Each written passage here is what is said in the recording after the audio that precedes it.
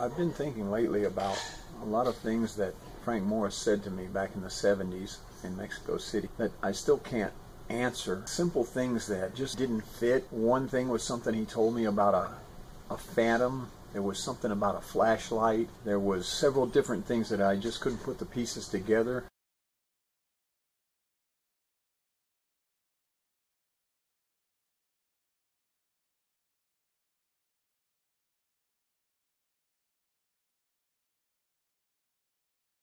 And a couple days ago, I stumbled upon these, these moonlight murders in Texarkana back in 1946. And I read everything I could on it. And after seeing all of that, a whole lot of things came back to me. So I decided it's time to make another video. I know there's a lot of you out there that can't stand it because I make these videos. But, you know, if the truth hurts you that bad, I don't know what to tell you if you believe everything that you see in the media and everything that the government tells you, you're going to walk around in the dark all the time until you run into a wall. Frank Morris used to complain about people like that. He used to say they needed killing. That was Frank, okay, so don't get mad at me. Why wouldn't he say that? He was a serial killer. He did tell me about Betty Jo Booker. He told me her name because I had a cousin named Betty Jo, and he was making his word association relationship there about her and he told me that he wore a mask. He told me a few other things. We'll, we'll get to that. But it just distresses me that, that Frank was released from prison in 1945 for about a year. That's the only time in his entire life that he was legally out of prison. And that's when the murders happened. They were done by a murderer who wore a mask. They were done by a person who was smart enough to not get caught I mean, those three things alone are enough for me to say that, you know, he would be the prime suspect. But the fact that he told me about these murders and made them look like they weren't murders, I'll tell you why as we go along. But that's enough to to seal the deal for me. Frank was the, the Texarkana Moonlight Murderer. Now I put together some pictures here that I got off of the internet that I want you to see. This is a newspaper picture of Betty Jo Booker and Paul Martin, who were killed by the Texarkana Moonlight Murderer, known as the Phantom Killer. And Frank told me that that's who he was. And I'm going to tell you how all of that worked.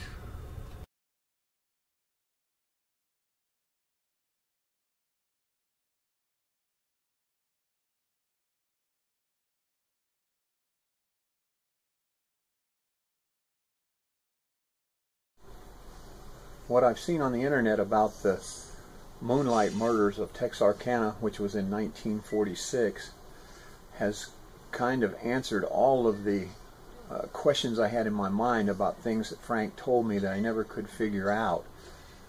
I want to start out with this card that he showed me in Mexico, and I distinctly remember this card. When I came across this card on the internet, my eyes got really big. I was sure then that that um, he was involved in this murder, and as I went through it, I'm sure that he was the one that did it, and I'll tell you why. Let's start out with the first thing that jogged my memory and helped me to remember all of this. This is a card or a ticket that Frank showed me back in 1970 about a dance that he went to and he saw a girl playing in a band. Her name was Betty Jo Booker. This was at the VFW Club in Texarkana. He ended up assaulting her and her boyfriend and killing both of them. This card is what made me remember that Frank had talked to me about those moonlight murders. And from there, the rest of it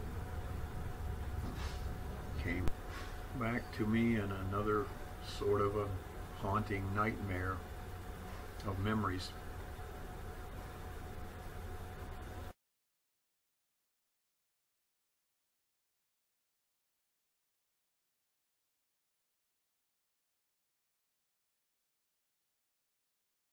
When Frank was telling me these stories, he was pretty sure that I really wasn't capturing all of it, but I was getting the part that he wanted me to get. He told me that he was once known as the Phantom.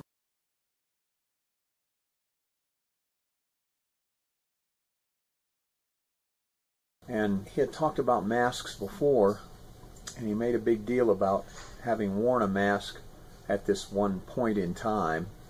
Wasn't specific about when it was, but he did tell me later that it was in Texarkana, and it was back during World War II.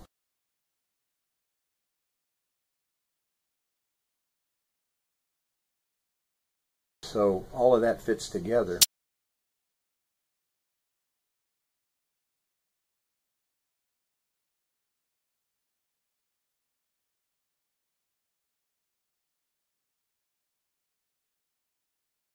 Frank knew I was into comic books, so he started the conversation off with, you know, have you ever looked at the comic comic book about the Phantom? And I told him I had, and he actually showed me a picture where he had drawn a picture of the Phantom on the Mary Pilker Christmas card. This is something I've showed you before. I'll put it in a link up here. But uh, I couldn't remember what he had told me about that, but now that I've studied these Phantom murders, now I remember. So I want to show you a picture of the Phantom.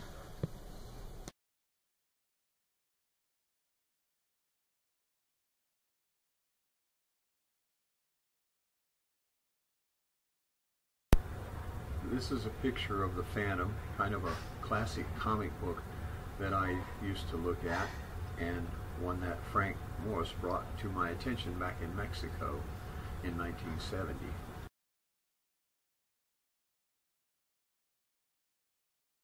This is a picture of the Mary Pilker Christmas card. This is a picture of the Mary Pilker Christmas card with an arrow pointing to the picture of the Phantom sitting on the ground with a flashlight in his hand. Frank kept telling me that that flashlight was very important. In a minute, I'm going to show you the importance of that flashlight. Now remember that Frank drew that picture of the Phantom into that card, and he told me in 1970 that that was a picture of the Phantom.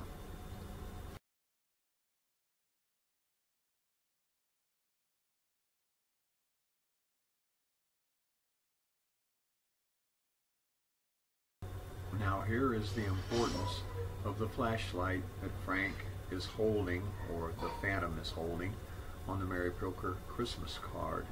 This flashlight was found at the scene of one of the assaults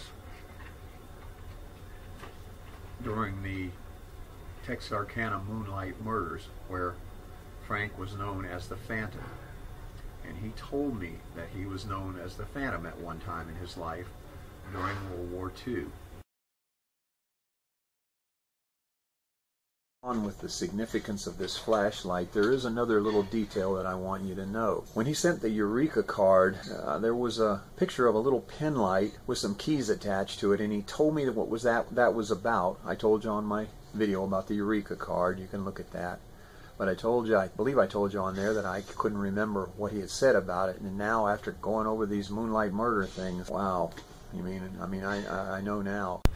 This is a picture of the keys and the pen light that the Zodiac killer sent with the Eureka card.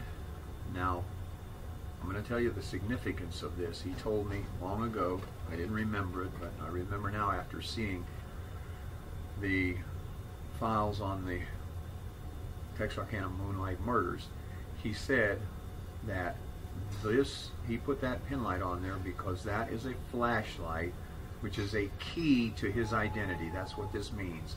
The flashlight is a key to his identity. He was relating back to the Texarkana Moonlight murders to let people know that he was the Phantom back then. And that he was the one that killed those kids. You see, these are all clues to his identity. Way up when the Mary Pilker Christmas card was sent, he's trying to tell you that he was the Phantom who killed those people in Texarkana back in 1946 during that one year in his life where he was legally released from prison.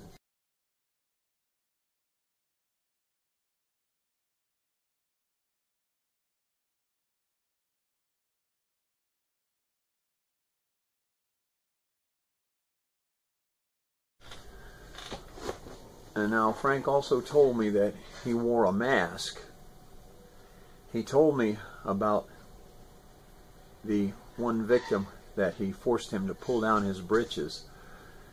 And we had gotten started talking about a 32 Colt automatic pistol because my dad had one and I really liked it because it fit my hand really well. And he played off of that. Yeah, that thing, that gun really fits well in your hand, don't it?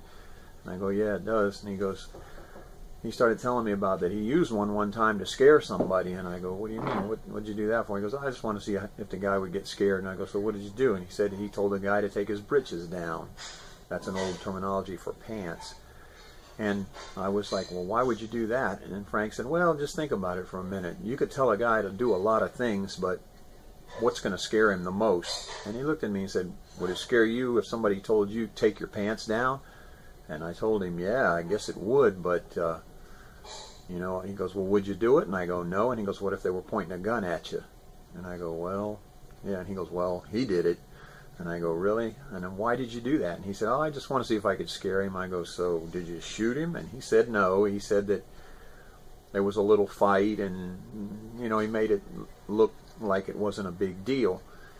He didn't talk about assaulting the girl, but I did ask him about why would you make a man take off his pants and he made a big deal about well his girlfriend was there so that way they wouldn't know that it you know I mean I didn't want to see him with his pants off. I just wanted to see if I could scare him into taking them off. I mean he really admitted to me uh, to all of the murders that he committed and it's it's a shame nothing can be done about it because he may still be alive. Frank asked me if I'd ever seen this picture of the Phantom spanking a girl and I told him I had, and that the reason that I remembered it was because I read a lot of comic books, but I never seen anyone getting a spanking on a comic book before. We kind of chuckled about that. And then Frank asked me, do you know why she's getting spanked? And I said, no. And he goes, because she did something she wasn't supposed to. And I go, really? And he said, yeah. And he goes, so she's getting it good. And I go, really? And he, he, he made a big deal out of it and said something about that that was his job to make sure that people got their punishment for doing the things that they weren't supposed to do. And I go, well, what do you think she was doing? And he goes, she was fiddle farting and effing around like most girls do. That was the attitude that he had about women. And that terminology, fiddle farting and effing around, is was kind of popular back then. And he used that in one of the zodiac uh, cards When the Zodiac struck, he usually murdered couples. He was always more brutal to the women than the men. And after a string of four or five murders, then he would murder a man by himself. And he told me the significance of that.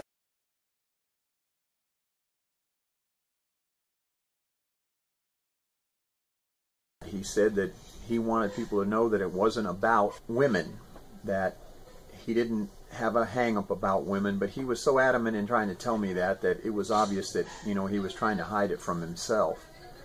That's why he killed Paul Stine all the way out there by himself in a different part of San Francisco or whatever and over there in California to let people know that and this is his exact words it was not about women. And he got really angry like that. I wanted him to know it was not about women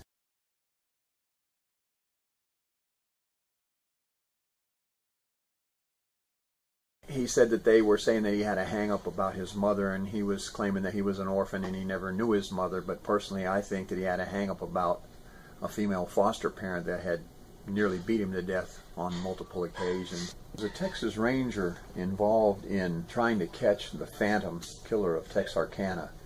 His name was Captain Manuel T. Gonzaullas. This is the first official that Frank kind of went after and he made a big deal about that to me also. He told me that the guy's name was Gonzalez, but that he had changed the spelling, or that he spelled it differently, which he does. It's not spelled the way Gonzalez is usually spelled.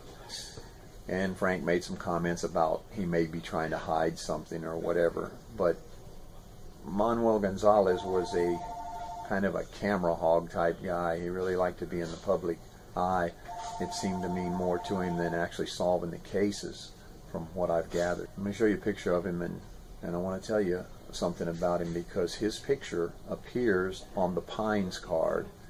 I can't find a picture of it where it's visible, but I'll tell you about that. This is a picture of Captain Manuel T. Gonzaullas. He was the Texas Ranger that was in charge of trying to track down the Phantom Killer of Texarkana back in 1946. There's a picture of him that appears on the Pines card. I'm going to show you where that's at.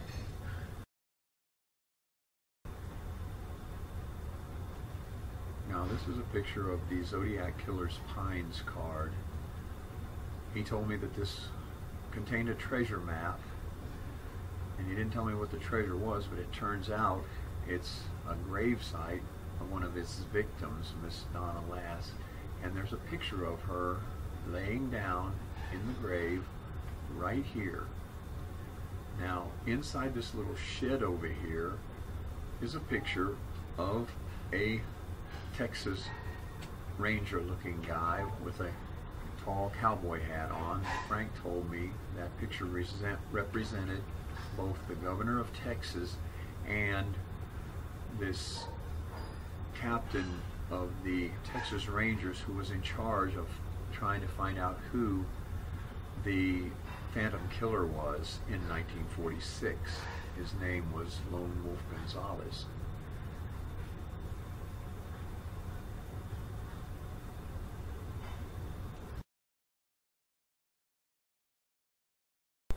One last item for you here. Frank showed me this old map of Texarkana back in 1970. I don't remember what he said about it except that I do remember that he said that it kind of bothered him I guess because all of the roads were perfect squares all in line and then there was this one road right here that cuts across everything. He seemed to be uneasy with that. I guess it was part of his schizophrenia. But then again, he said that there were a lot of towns that were roads were made like that. This thing with Frank Morrison, the Anglin brothers, the Zodiac killers, Dan Cooper, the whole thing is really complicated.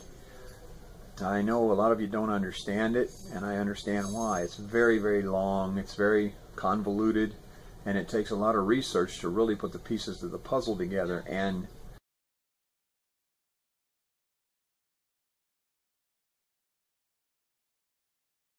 you won't put the pieces of the puzzle together unless you know everything that Frank told me.